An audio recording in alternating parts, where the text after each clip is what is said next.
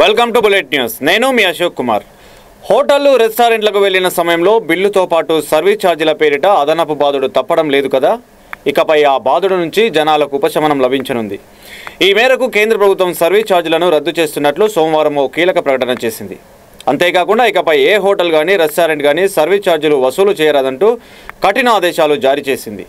ఏ బిల్లుకైనా GST పన్ను వసూలు చేస్తున్న నేపథ్యంలో సర్వీస్ ఛార్జ్ అనే మాటే ఉత్పన్నం కావద్దన్నది కేంద్ర ప్రభుత్వ ఉద్దేశంగా తెలుస్తుంది.